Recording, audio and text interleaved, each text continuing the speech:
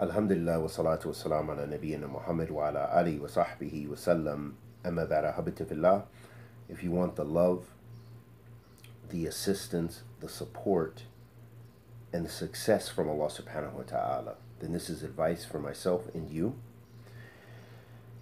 And that is to remember Him often. Because the one who remembers will be with those who they remember. And Allah subhanahu wa ta'ala, from His ma'iyah, He will be with you by assisting you, supporting you, aiding you, loving you. And this love and support and success from Allah subhanahu wa ta'ala is gained, as Allah subhanahu wa ta'ala says, Fi kitab al-kareem, inna allaha مع الذين اتقوا والذين هم محسنون.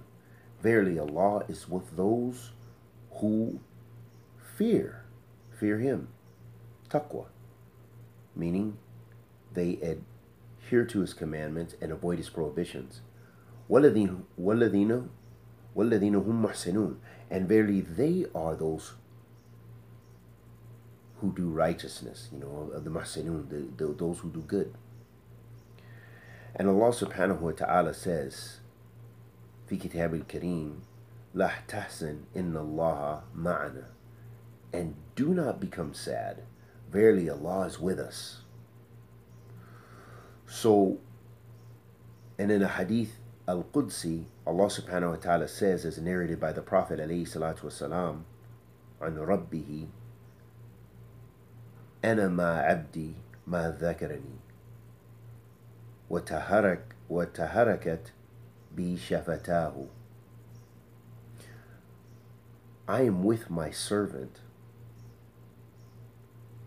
when he remembers me and when he moves his tongue for me, meaning that you're the person is making dhikr of Allah subhanahu wa ta'ala. So this is how you gain the support and the help and assistance of Allah. And it's as simple as dhikr. This is something we can do in Ramadan. It's something we can do outside of Ramadan. It's easy. You don't need money for this. you don't need uh, excessive time.